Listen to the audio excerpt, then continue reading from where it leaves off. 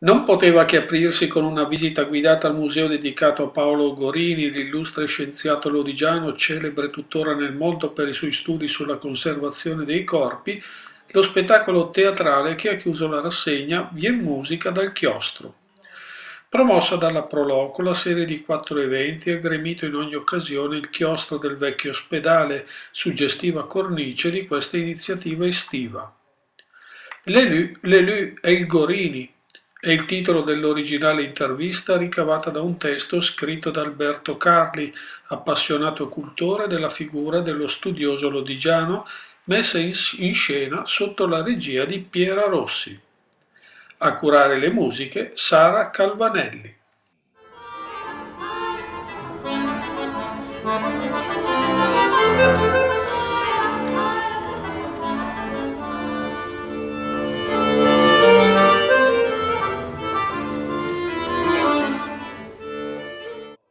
A vestire i panni del giornalista al suo primo incarico al giornale, Dario Leone.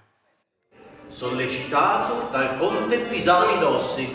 Vai e fai un buon lavoro con quello stregone. Bello, eh? Primo incarico, andare a intervistare uno che vive coi morti. Riepi è il suo laboratorio di mummie. Rende di pietra i corpi dei morti, li, li, li taglia a pezzi, li brucia. Tutti, eh?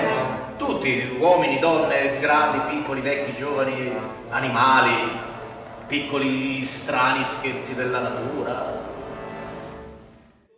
La figura ancora oggi enigmatica di Paolo Gorini è stata affidata a Luciano Pagetti.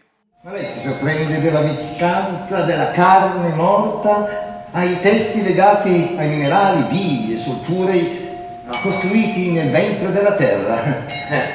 Non vede?